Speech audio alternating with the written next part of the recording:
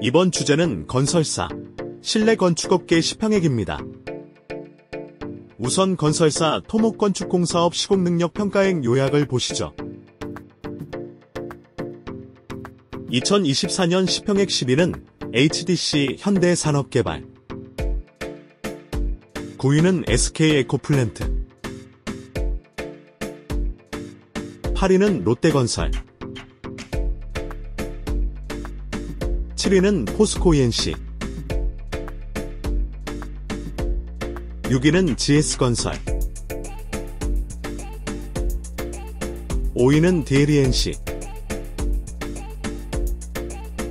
4위는 현대엔지니어링. 3위는 대우건설. 2위는 현대건설 1위는 삼성물산입니다.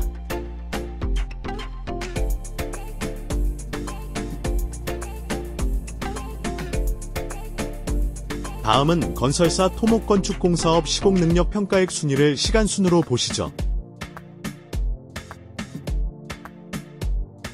단위는 100만원이며 당해 연도 8월부터 다음 연도 7월 말까지의 국내 건설공사 수주액이 당해 연도에 적용되었습니다.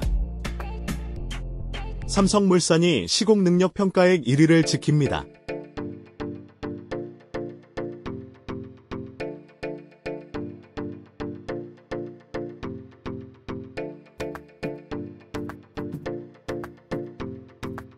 대우건설이 2006년 시평액 6.5조 원으로 1위에 오릅니다.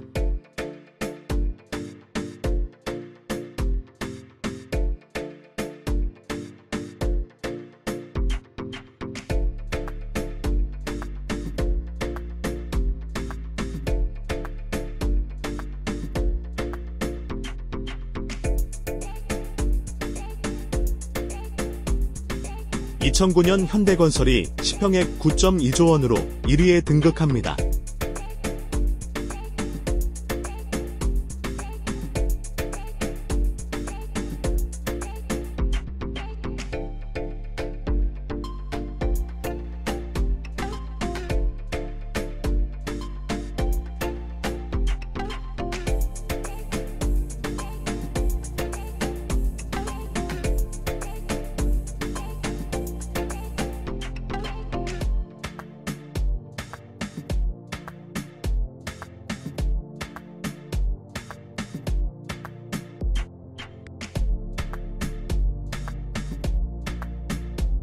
(2014년) 삼성물산이 시평액 (13.1조 원으로) 1위를 탈환합니다. 2014년부터 11년간 삼성물산은 1위를 수성합니다.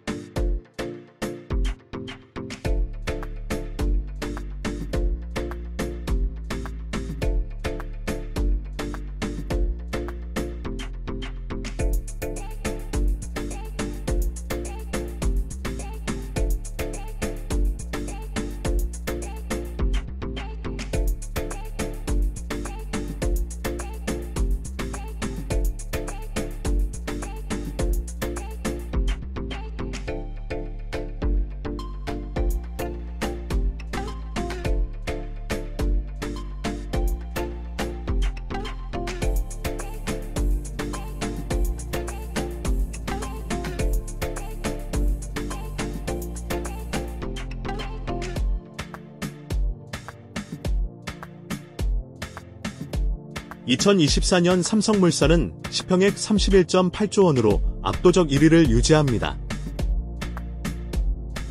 두 번째로 실내 건축공사 시공능력 평가액 요약을 보시죠.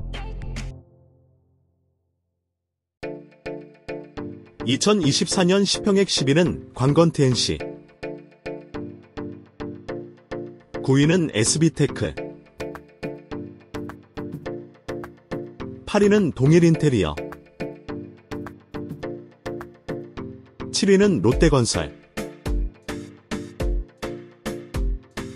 6위는 시공테크. 5위는 두양건축. 4위는 삼원S&D 3위는 은민S&D 2위는 다원앤컴퍼니. 1위는 국보 디자인입니다.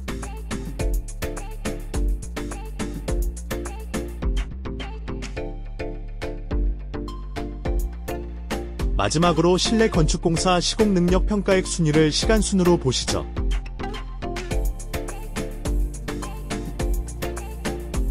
단위는 100만원이며 당해 연도 8월부터 다음 연도 7월 말까지의 시공능력 평가액이 당해 연도에 적용되었습니다.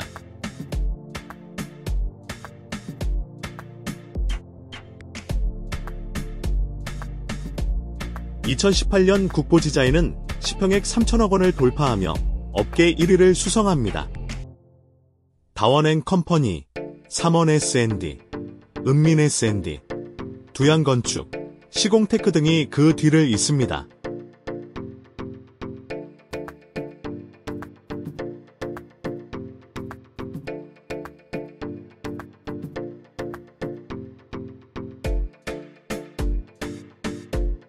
치열한 수주전쟁터 인테리어계에서 국보 디자인은 최고의 자리를 유지합니다.